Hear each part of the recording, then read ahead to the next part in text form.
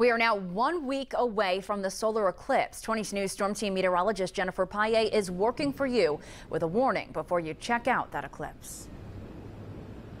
Here in western Massachusetts, the eclipse starts at 1:25 in the afternoon and ends at 2:44. At the maximum, 65% of the sun will be obscured by the moon. You can make that determination about, well, okay, how much am I going to cook my eyes? On Monday, August 21st, many of us will witness a rare phenomenon.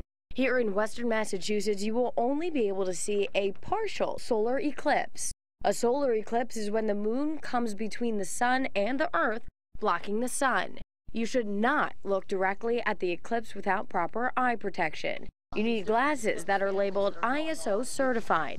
Some glasses are being sold over the internet that are fake. 22 News talked with Eye Care West in West Springfield, who said you won't notice the damage right away, but you will notice the damage over time. That damage could be blindness. If you look directly at the sun, there could be immediate damage. The longer you look, the more damage will occur. It's not so much the ultraviolet light, it's the infrared light that damages the retina, the, the back inside of the eyeball, that gets cooked by both the ultraviolet but more so the infrared. Even though it may be tempting, don't even peek at the solar eclipse without proper eye protection. Not through a window, and regular sunglasses do Only not provide the protection you need.